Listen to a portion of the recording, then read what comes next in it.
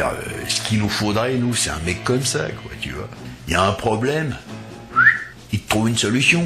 Attends, le mec, il boit de la javel. Pur. Tous les matins, un litre de chloroquine en se levant. Non, mais... C'est pas rigolo, le Trump. C'est un mec comme ça qu'il nous faudra la tête du pays.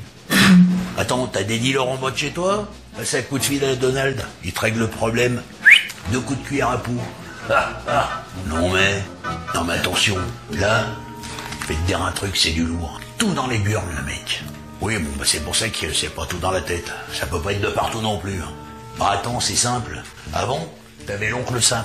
Maintenant, t'as le furoncle Trump. Alors, euh,